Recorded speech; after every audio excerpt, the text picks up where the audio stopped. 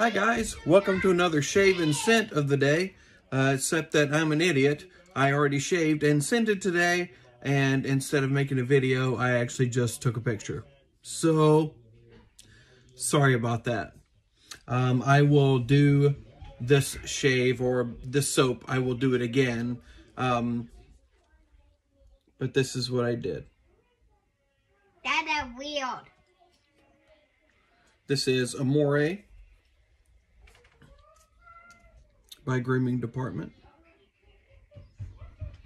Really, really nice soap.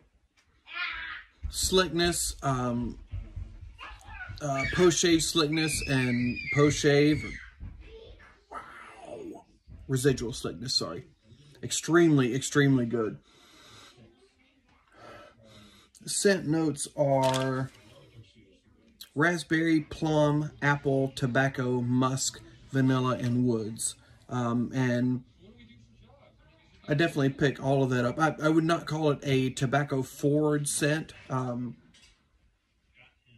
it's definitely in the background, just kind of darkening it a little bit, if you will. Um, very nice, um, soft.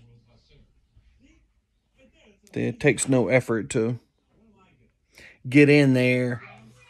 Um, really, really slick super, super nice stuff.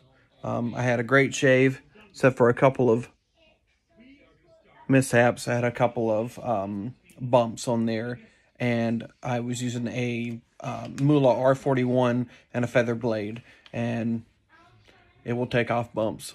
It doesn't care if you have bumps. It will make you BBS, and I'm absolutely BBS right now. There's not a stitch of hair anywhere. Super, super nice. Um, like I said, I used the Mühle R41 and a feather blade. Um, and the um, the scent of the day was um, Herod by Parfums de Marly, which is tobacco, vanilla, cinnamon, pepper, musk, cedar, other notes. Um, but my commonalities were tobacco, musk, vanilla, and woods, and the two work together awesome. Um, so I was very, very happy with it. Very good shave. Um, like I say, a few little spots right there that I got. Uh, but otherwise, really good shave. Um, the brush was my Amber Aerolite by PAA, which did a fantastic job as always. Um, and my aftershave was um, Holy Cow um, King of Bourbon. And that mixed along with all this just makes it perfect. The King of Bourbon is woody, um, nice vanilla, kind of boozy. Um, worked out extremely nice with all of this. So, sorry I did not get to show it to you. Um, really, really nice soap and label. I guess I could read you the ingredients while I'm here since I already shaved and, you know, will waste a little more of your time. Um, and this is obviously the, the mallard soap. This is a redux, um, a redo of the original mallard, which I love.